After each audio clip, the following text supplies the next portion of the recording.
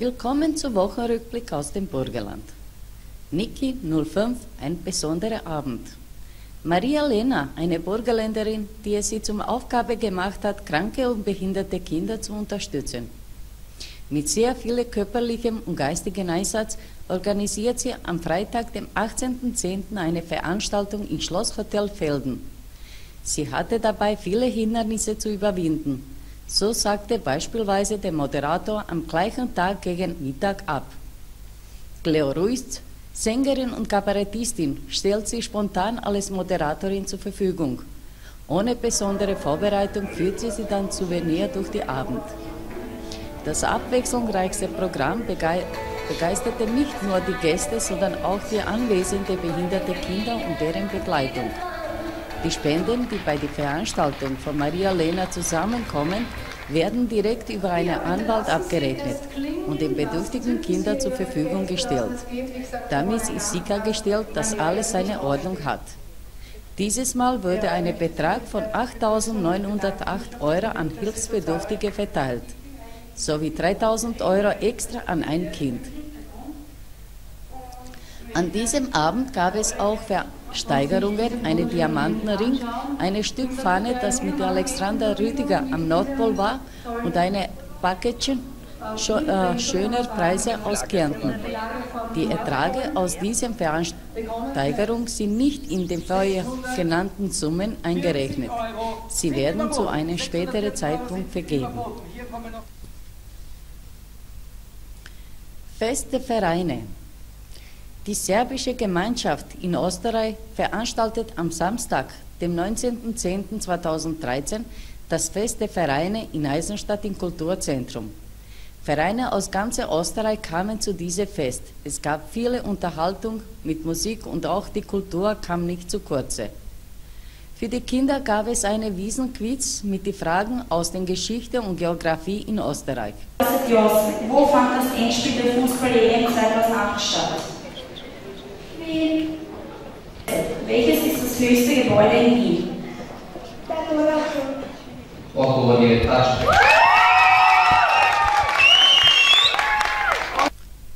Auch für österreichische Besucher war alles verständlich, da die Fragen auf Deutsch gestellt und beantwortet wurden.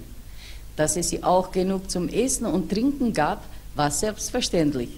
Nebojša Kračunovic, auch bekannt als Puma, vom Club Kragujevački, hatte die Veranstaltung mit seinen Clubmitgliedern organisiert und hervorragend über die Bühne gebracht. Wir haben auch mit Nebojša Kračunovic, Obmann vom Verein Club Kragujevac, gesprochen. Herr Nebojša Kračunovic, Puma bekannt, wir sind schon sowieso Freunde seit länger. Seit wann sind Sie Obmann von dem Club Kragujevac? Ja, von 1900 2000 die waren, glaube ich, im Mai so, so Anfang Mai. Ganz schön lang. Ja, 13 Jahre. Und in der 13 Jahre haben Sie welche Veränderungen gemacht in die Verein? Ja, viele, viele Veränderungen wir machen. In den 13 Jahren haben wir so angefangen mit der Sport am Anfang, mit, nur mit Fußball. Und jetzt haben wir sieben Jahre, sieben Jahre haben wir mit der Kultur dazu. Wir haben jetzt ungefähr 30 Kinder zwei Gruppen, kleine Gruppen und diese kleine Gruppe 7 bis 12 und die große Gruppe 12 bis 18 Jahre. Aber jetzt kommen wir zu dem Fest der Vereine, was am Samstag war. Riesengroße Fest. Wir waren dabei. Mir werden wir sowieso ein paar Ausschnitte zeigen. Meine Frage an Sie, war das schwierig, alles zu organisieren? Weil, wie viel ich weiß, an die Vereine von ganz Österreich kommen? Ja, schwierig, ja, schwierig schon. Aber wir haben so ein gutes Team. Mein Klub Kragujevac hat eine super Leistung. Mir weiß man, was geht es, alles, alles Person, was muss machen, der weiß das. Ein bisschen war mit Sponsorproblemen, was der, Halle ist so teuer, Kulturzentrum als Eisenstadt. Aber wir haben geschafft, das, war über 300 Kinder und 400 Eltern wachsen und über 700 Besucher war bei dem Fest. Das haben wir gesehen, das war Riesenbild. Aber wie, waren Sie, wie zufrieden waren Sie mit der Veranstaltung? Ist er gut über die Bühne gelaufen? Na, der war super wirklich, der Bruder passt alles, der Halle ist toll, der Halle ist super, die Biene war, Organisation war, die Kinder war alles da. Ich glaube, da passt. Welchen Platz haben die Club Kragujevački? Ja, leider, leider dritter Platz. Dritte ist auch was Gutes. Ja, wir waren, unsere Kinder waren wirklich, wirklich, wirklich von sieben bis zwölf Jahren. Andere Vereine, das ist ein Fehler von Giri, der war über 14 Jahre. Der war gewesen sieben bis, 14, bis 12 Jahre, aber der Jury hat er nicht kontrollieren, das ist ein Jury-Fehler. Das gebe ich zu. Aber allgemein waren Sie zufrieden? Allgemein befriedigt. Ich, bin, ich bedanke mich meinen Kindern. Wirklich, der dritte, dritte Platz ist ein super Platz bei uns. Die, die junge der Mädchen war sieben Jahre, der älteste war elf, elfeinhalb. Ich bin fried, super, super. Und wenn ich gut informiert bin, dieses Jahr wird noch eine Fest gemacht? Ja, dieses Jahr machen wir jetzt ein Fest in Zielintal, 9. November. Aber den machen wir ungefähr mit 300 Leuten, nicht so groß. Der kommt äh, von St. Pölten kommt der Verein und von Wien einer, ich weiß nicht welche noch, ich überlege mal welche von Wien und unsere Kragujevac dabei. Am 9. 9. 11. in Zillental. Dann sind wir leicht dabei wieder. Ja, leicht dabei. Und ich will noch dazu sagen, ich verdanke meine Eltern von Clubsport Kragujewatschki und äh, das erste Mal die zweite Gruppe von, von 12 bis 18 Jahren so viel Öfen von Arbeit, von Kellner, von der Küche, alles war dabei. Das hört man gern. Ich danke Ihnen für die Besuch. Danke auch. Wiedersehen. Festakt zur Verleihung der Verdienstmedaille an Blutspender. Am Samstag, dem 19. Oktober, fand in der Bauermühle in Mattersburg die Verleihung der Verdienstmedaillen an Blutspenden statt. Die einmal jährliche stattfindende und vom Roten Kreuz organisierte Feier war gut besucht.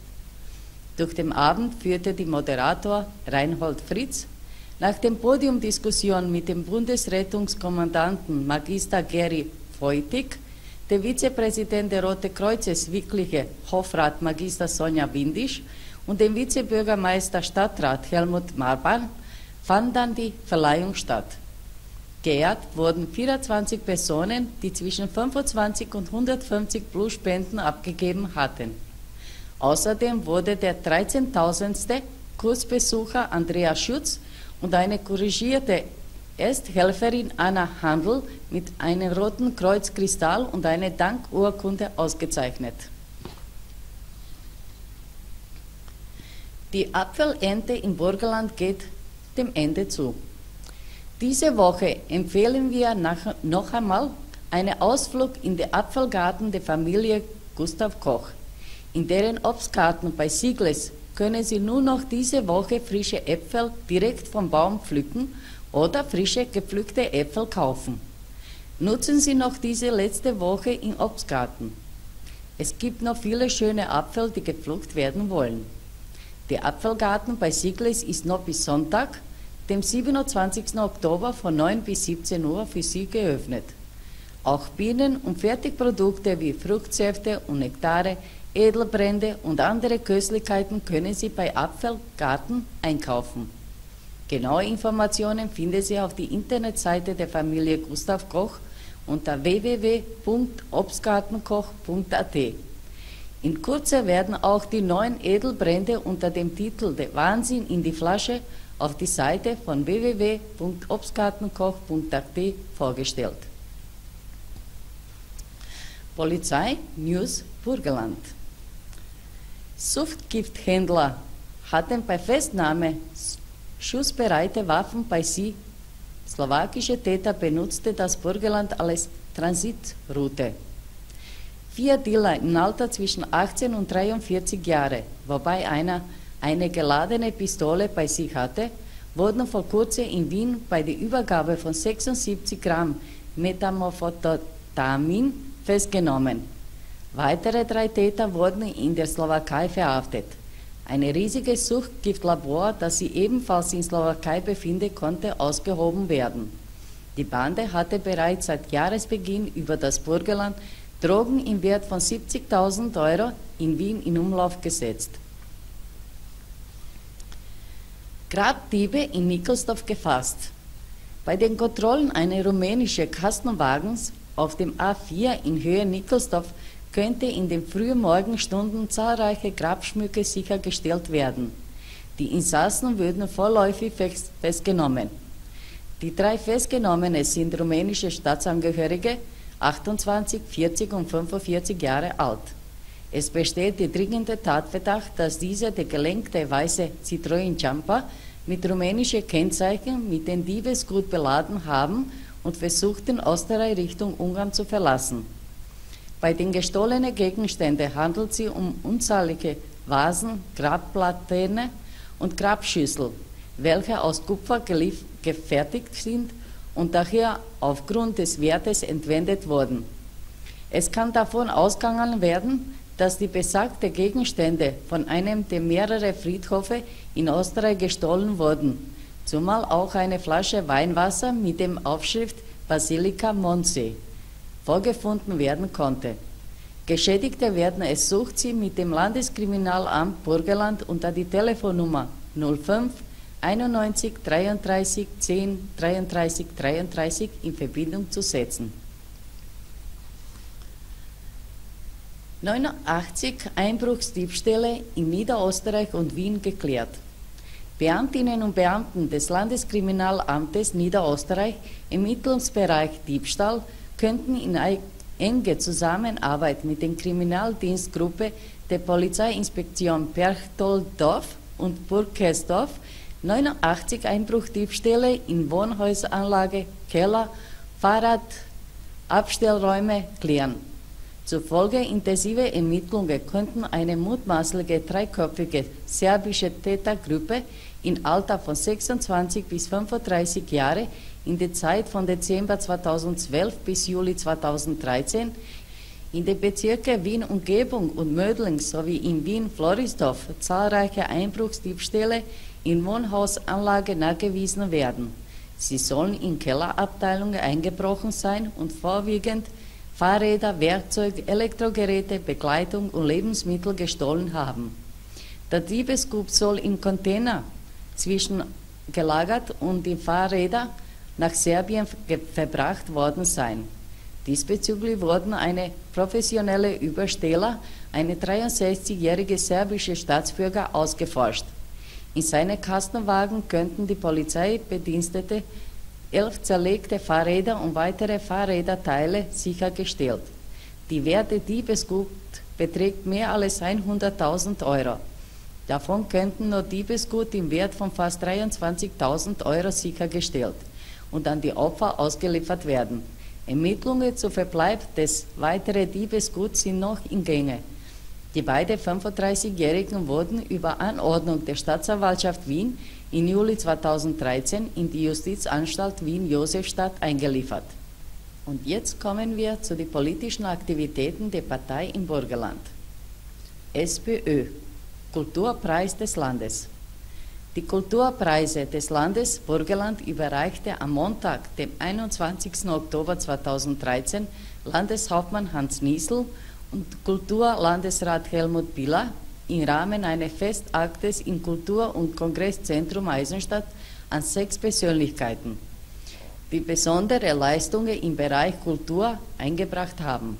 Neben Landesrat Andreas Liegenfeld, in Vertretung von Landeshauptmann Stellvertreter Magister Franz Steindl, Landesrat Dr. Peter Reser, Landtagsabgeordnete Vizebürgermeister Gunther Kovac, Landespolizeidirektor Magister Hans-Peter Diskozil und ORF-Landesdirektor Karl-Heinz Papst wohnten zahlreiche Vertreter und Gäste aus Kultur, Politik und dem öffentlichen Leben der Feier bei. Dr. Josef Windhofer, langjähriger Geschäftsführer des Kulturzentrums des Landes, erhielt in Anerkennung seiner Verdienste um die Kultur das Komturkreuz des Landes Burgenland. Lehrlinge von heute als Facharbeiter von morgen. Den 23. Oktober 2013, der diesjährige Tag der Lehre, der heuer österreichweit bereits zum siebten Mal durchgeführt wird, nehmen Landeshauptmann Hans Niesel und Landesrat Peter Reza zum Anlass der landesweite Größe private Lehrlingsausbildner, die Ausbildungssituation zum Facharbeiter näher zu beleuchten. Die Lehrlinge von heute sind die Facharbeiter von morgen. Qualifizierte Entscheidete über die Sicherheit der Arbeitsplatzes, über die Perspektive und die Chance junger Menschen. Denn qualifizierte Fachkräfte sind notwendig, damit es eine weitere gute wirtschaftliche Entwicklung gibt, damit wir im Wettbewerb bestehen können. Daher werden wir im Land weiterhin Lehrlinge ausbilden und in die Qualifikation, in die Ausbildung junger Menschen investieren. Ich sehe darin ganz wichtig und entscheidend Investitionen in die Zukunft so der Landeshauptmann Hans Niesel. Zundorf hat neue Kinderbetreuungseinrichtungen. Am vergangenen Sonntag wurden in Zundorf in Räumlichkeiten der neuen Kinderbetreuungseinrichtung sowie eine Babytreff und 50 plus Treff feierlich eröffnet. Rund 2 Millionen Euro hat die Gemeinde in den Neubau der neuen Kinderbetreuungseinrichtung investiert wofür rund 267.400 Euro an Fördermitteln aus dem Kindergartenbauprogramm zur Verfügung steht. So Kindergartenreferentin Landesrätin Magister Michaela Reseta. Insgesamt werden in der neuen Kinderbetreuungs- und Bildungseinrichtung rund 75 Kinder betreut. Würstel und Rippelschnapsen der ÖVP Oberschützen. Es geht um die Wurst, läutet das Motto des diesjährigen Wurstel- und Ripperschnapsen der ÖVP, Oberschützen bei Mostheurige. Es ging heiß her und so manche Partien. Waren spannender als ein Krimi. Auch Landesrätin und Bezirksparteiobfrau Magister Michaela Reseta schnapste sie mit dem Bürgermeister Günther Todt eine Brummel aus.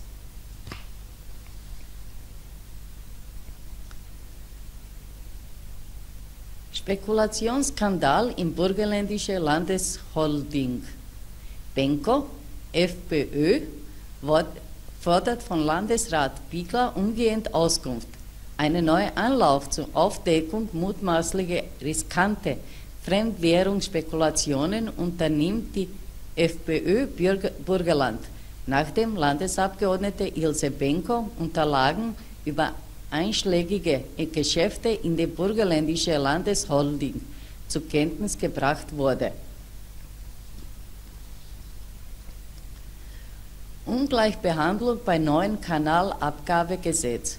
Mit Unverständnis und Kritik reagiert der Abgeordnete der Liste Burgenland, Manfred Kölli, auf die Ablehnung des Ab Abänderungsantrages der Liste Burgenland zum neuen Kanalabgabegesetz.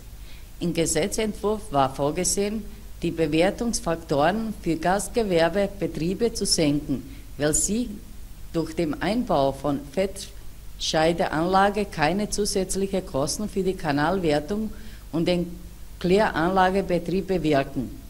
Dieser Ansatz ist gut und richtig, so der Kommentar von Manfred Kölli. Doch es ist nicht einzusehen, warum Werkstätten, die seit Jahren ebenfalls verpflichtend Abscheideanlage installieren müssen, nicht ebenfalls von einer Änderung der Bewertungsfaktor profitieren durften. Die Liste Burgerland hat letzte Woche während der Landtagssitzung noch einen Abänderungsantrag eingebracht, der allerdings abgelehnt wurde. Wie erklären Sie dem Betreiber einer Werkstätte, dass er trotzdem Installierung eine Abscheideanlage nicht finanziell entlastet wird, der benachbarte wird aber schon. Diese Form der Klientpolitik kann und werde ich nicht akzeptieren. So Kölli. Noch mehr Fotos und Informationen über die Einzelbeiträge finden Sie auf die Seite ccmedia.at und ccm-tv.at. Wenn wir vor Ort bei der Pressekonferenz dabei waren, finden Sie auch die komplette Pressekonferenz als Video auf unserer Seite. Und jetzt kommen wir zu den Veranstaltungsempfehlungen. Der Pressesprecher der Polizei im Burgenland präsentiert am Donnerstag, den 24.10.2013 um 19 Uhr in Rust nach seinen beiden Büchern Hart an die Grenze, Band 1 und 2, seine neue Werk Tatort Burgenland. In diesem Werk, das mit etwa 300 Bildern unterlegt ist, sind Berichte über aufsehenerregende Kriminalfälle, Verkehrsunfälle sowie Katastrophen, die sie den letzten Jahrzehnten im Burgenland ereignet haben. Die zweite Martell-Wanderung findet in Deutschkreuz am 26.10.2013 statt. Treffpunkt ist um 14 Uhr bei Schmittelkreuz. Die Wanderung wird ca. zwei Stunden dauern. Am Freitag, den 25.10., eröffnet eine neue Lokal in Wien. Es handelt sich dabei um Mendons Wort im 10. Bezirk in die Aspergasse 25. Der Magier wird dort selbst öfter auftreten und auch Live-Musik wird gespielt werden. Es ist eine kleine, aber feines Kaffeehaus und wenn jemand in der Nähe ist, zahlt es sich aus, dort vorbeizukommen. Das war es wieder für diese Woche. Vielen Dank für Ihre Aufmerksamkeit und eine schöne Woche wünscht Ihnen CCM TV. Dankeschön.